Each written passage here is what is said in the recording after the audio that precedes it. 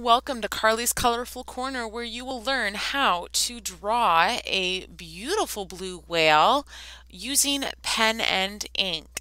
Let's begin class with a regular ink pen and our finished piece.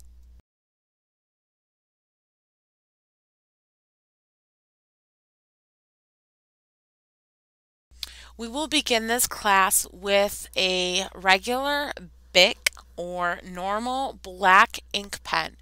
We're going to feather this ink pen along our sand line to kind of create a little bit of a border between our water and sand.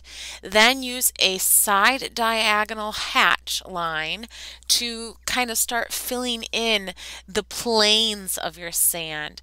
Now when your sand starts moving in a hill, you are also going to adjust your pen strokes to imitate said hill shape. This will give the illusion that your area is a three-dimensional space.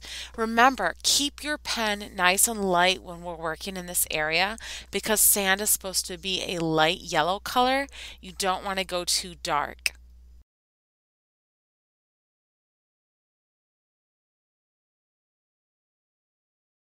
Now we're going to start moving up our seaweed wherever you have it placed. But first, let's consider where do you want your light source? My light source is going to be in the top left-hand corner. So any, uh, not left-hand, right-hand corner, anything on my left-hand side or the left-hand side of my paper is actually going to appear a lot more darker than the right side. So what I'm going to do, or my best advice for you is to move up the seaweed at kind of like a curved line, specifically because seaweed kind of wraps and flows and ebbs through the water. So your line is going to want to kind of mimic that my my line is going to start tilting a little or curving a little more when we get to the more curvy parts of the seaweed. I'm going to curve out or bow out my line where the curve of the line itself is going to kind of stretch out towards the curve of the original seaweed shape. So Watch as I'm doing this, I'm mimicking the way that the seaweed ebbs and flows through the water and giving it a realistic effect. You can use a 3-2-1 formula shading technique where you fill the seaweed entirely with one layer of ink and then you can fill in the shadowed part with an additional layer of ink and then the very edge of your shadow furthest away from the light source, you're going to add a thin layer or a third thin layer of ink on top of that area, just a little near the edge to kind of make that shadow wrap in and around the outside of the seaweed's body. So let's continue this with each plant before we move on to our whale fun tidbit for the day. As you're at, as you're doing this it's going to kind of look like an optical illusion. That's the main idea here. We're dealing with directional line and we're using a technique called contour shading. So instead of just going in one side diagonal hatch our line is actually moving with the object in which we are drawing this technique may also be commonly known as cross contour because you are not necessarily lifting your pen very much. You're just moving uh, back and forth, so you're crossing over at times. As you get closer to your light source, the shadows on your seaweed are also going to get lighter you can tell that the seaweed that's on the left hand side of my paper, the edges on the left hand side are a lot more darker than the edges on the right hand side. That is specifically because I am trying to emphasize the illusion of light uh, pushing in and through the water onto my seaweed.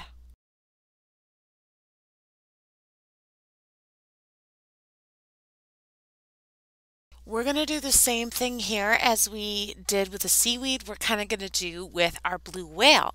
But keep in mind, the seaweed is short and small and its body is kind of, um, well, extremely minuscule or smaller than your whale itself. So let's kind of emphasize that and emphasize the largeness of this whale by doing long strokes, stretching strokes from one side of the whale's body to the other.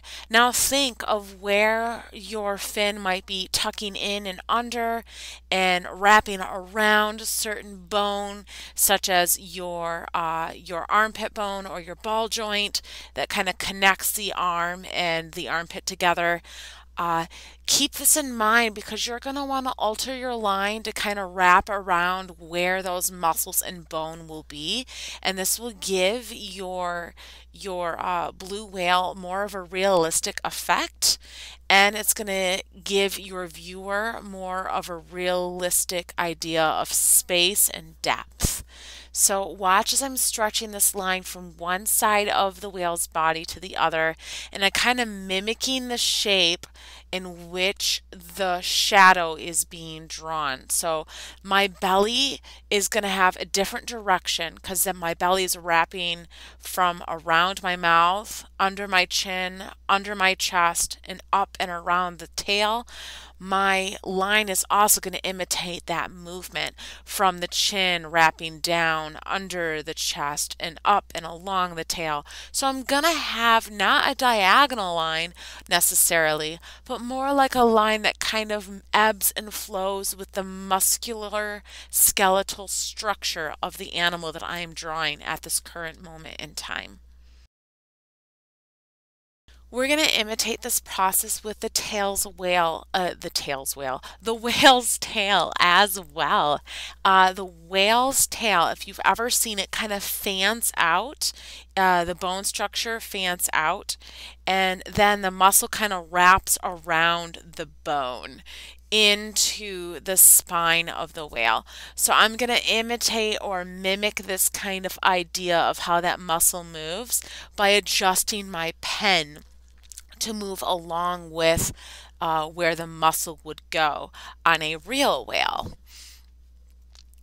We're also going to do the same thing with the stomach. As I mentioned before, there's a dip from the tail under the belly and it dips down and then it rides up towards the mouth. As you're doing the belly, though, you're going to want to lighten your pressure on your line. The belly is actually going to be a little bit lighter because it's lighter in color on the whale's body. The top of the whale is that bluish part, and the bottom of the whale is kind of like that light gray or kind of yellowish part that you would find on a whale in real life. I am not only going to lighten my pressure for the stomach, but I'm also going to allow more white space to peep through my line on the stomach and chest region of my whale.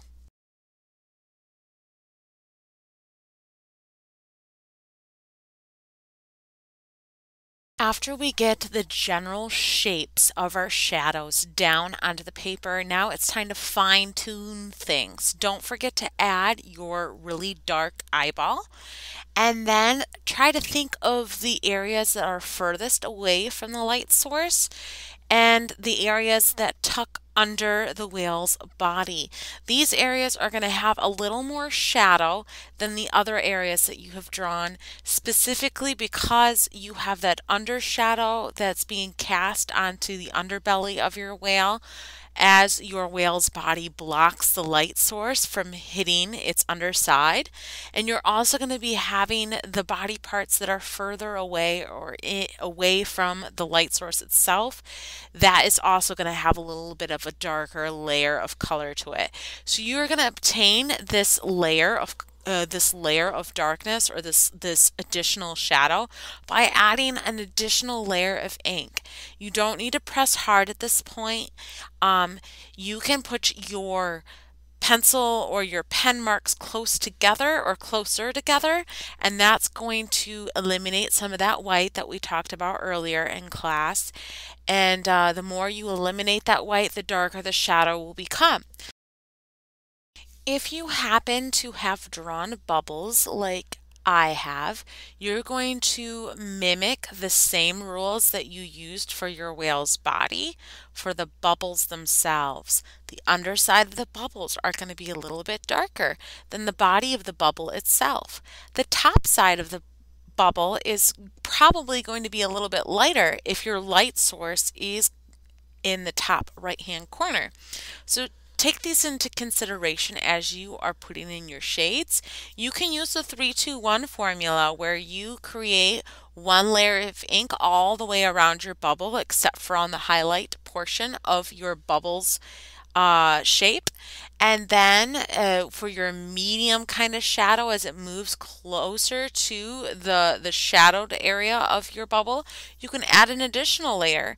And then you can add a third layer to the edge of the bubble and the underside of the bubble that's furthest away from the light source. This is the most easiest way to explain value building or shadow building um, for this class. Now, uh, if you haven't done bubbles and you did a school of fish, then maybe you can eh, do the same thing like you did with the whale's body, depending on where the fish are located. Just keep in mind where is your light source and how is that going to define where your shadows or your shades are going to be placed.